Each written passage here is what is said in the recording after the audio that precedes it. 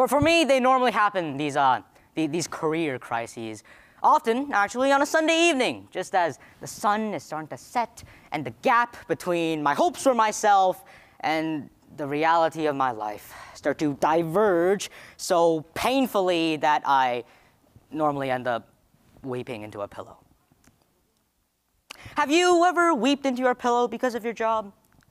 Well, I certainly have not, because I don't have a job. But uh, I have been made fun of for playing golf numerous times.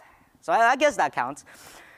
According to philosopher de Botton, these feelings of inadequacy are attributed to the rise of envy and job snobbery in the 21st century, all due to the many pitfalls of equality and meritocracy, as explained by his 2009 TED Talk, A Kinder, Gentler Philosophy of Success.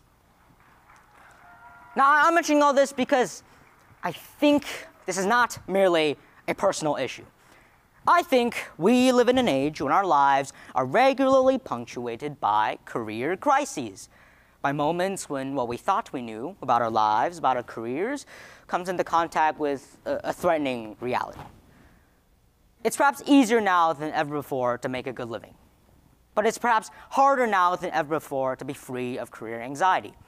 So I want to look now at some of the reasons why we might be feeling more anxious about our careers today. Why we might be victims of these career crises as we're weeping softly into our pillows. One of the reasons why we might be suffering is that we are surrounded by snobs. Now, now what, what is a snob? Well, a snob is anybody who takes a small part of you and uses that to come to a complete vision of who you are. That is snobbery. The dominant kind of snobbery that exists nowadays is job snobbery. You encounter within minutes at a party when you get asked that famous, iconic question of the 21st century. So, uh, what do you do? According to how you answer that question, people are either incredibly delighted to see you, or they look at their watch and start to make their excuses. Now, the opposite of a snob is your mother. Well, not necessarily your mother, or indeed mine, but as, as it were, the ideal mother, someone who doesn't care about your achievements. Unfortunately, most people are not our mothers. Most people make a strict correlation between how much time, if you like, love, they're willing to accord us. That will be strictly defined by our position in the social hierarchy.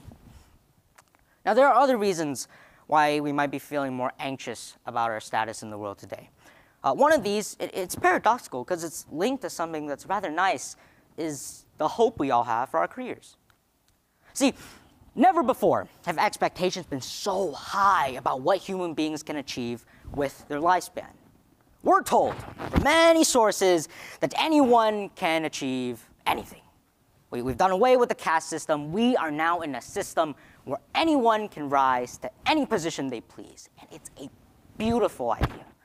Along with that is a spirit of equality. We're all basically equal. There's one really big problem with this, and that problem is envy. See, if there's one dominant emotion in modern society, that is envy. And it's linked to the spirit of equality. Let me explain. See, I think it would be very unusual for anyone here to be envious of the Queen of England, even though she's much richer than any of you are. And she's got a very large house. The reason we don't envy her is because she's too weird. I mean, she speaks in a funny way, she comes from an odd place, so we can't relate to her. And when you can't relate to someone, you don't envy them. But the closer two people are in age and background, in the process of identification, the more there's a danger of envy. Which is incidentally why none of you should ever go to a school reunion, because there's no stronger reference point than people one was at school with. You see, you see, the problem of modern society is that it turns the whole world into a school. Everybody's wearing jeans, everybody's the same, yet they're not. So there's a spirit of equality combined with a deep inequality, which can make for a very stressful situation. You know, it's probably as unlikely that you would nowadays become as rich and famous as Bill Gates, as it was unlikely in the 17th century that you would accede to the ranks of the French aristocracy. But, but the point is, it, it doesn't feel that way. It's made to feel by magazines and other media outlets that if you got energy, if you brought ideas about technology, uh, a garage, you too could start a major thing. You see, there's a real correlation between a society that tells people they can do anything and the existence of low self esteem. So that's another way in which something quite positive can have a nasty kickback. Now, there is another reason why we might be feeling more anxious about our careers today. And it's again linked to something nice. And that nice thing is meritocracy. Now, you see, everyone agrees that meritocracy is a great thing and we should all be trying to make our societies really, really meritocratic. Uh, well, first, what is a meritocratic society? Well, a meritocratic society is one in which if you got talent and energy and skill, you will get to the top. Nothing should hold you back. And it's a beautiful idea. But the problem is, if you really believe in a society where those who merit to get to the top get to the top, then you'll also, by implication, in a far nastier way, believe in a society where those who merit to get to the bottom get to the bottom and stay there. In other words, your position in life comes not to seem accidental, but merited and deserved, which can make failure seem much more crushing. You know, in the Middle Ages in England, when you met a very poor person, that person would be described as an unfortunate, literally someone who was not blessed by fortune. Nowadays, if you meet someone at the bottom of society, they may unkindly be described as a loser. There's a real difference between an unfortunate and a loser. And that shows 400 years of evolution in our society and our belief in who is responsible for our lives. It's no, it's no longer the gods, it's us. We're in the driving seat. See, that, that's exhilarating if you're doing well, very crushing if you're not. It leads in the worst cases, in the analysis of sociologists like Emile Durkheim, it leads to increased rates of suicide.